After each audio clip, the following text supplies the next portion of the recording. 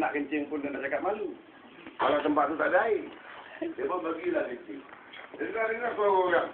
Kencing lagi pusing dengan dulu. Dia tengok, eh, nampak orang kata. Dia kata dia tempat yang jauh daripada orang. Lepas dia pun dia kencing, kencing, kencing, dia bangun. Dia bangun mana tempat kopi tadi? Dia mana? Bila orang dengar, oh, kat sana bunyi kat sana. Sana yang bunyi tadi tu adalah reflect daripada suara yang dulu tempat lain. Jadi budak kat sana pergi ke sana. Sampai sana tak ada. Kau pergi sana.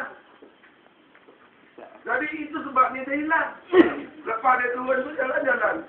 Tak ada kira semua dah. Lepas dia berhenti berehat. Oh.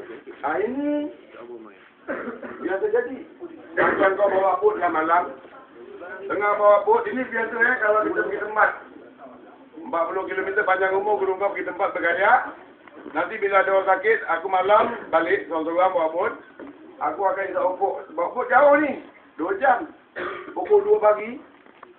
Gelap semua kayu hutan tu. Aku pun isap opok. Bila aku isap opok, bot aku ngadak ke sana sampai sana pasang bot aku dah terpusing ke sana. Hah?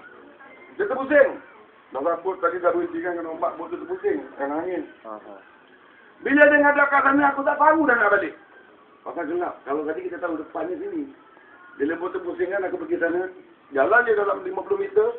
Hilang pedoman. Tak tahu tempat. Macam dia terkencing tadi. Jadi kat sini, kenapa? Selalunya orang yang kencing ni tadi akan hilang. Terus bunyikan hantu. Bukan bunyi hantu. Dia. Hantu tak nak kau, yang nak kau aku.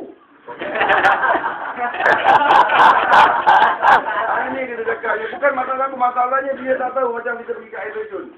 Dengar air terjun tak? Ya. Kat mana sebelah sana. Oh. Dia tu tengok, eh, sebelah sana. Tengok kat mana reflect tadi atau apa dia panggil tu? Echo pada suara tadi tu. Ah ini. Jadi kat sini kita boleh gunakan itu sebagai refleksi kita. Okay. Okey, itu selesai kan?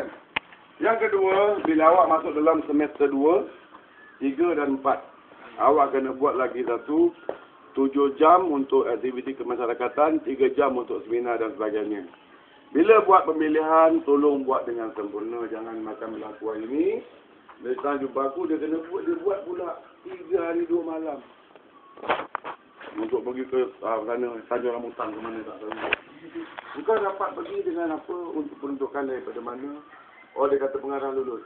Ini bukan soal pengarah. Soalnya sekarang kita ni bukan membuat, kita bukan merancang program. Kita pelaksana program betul.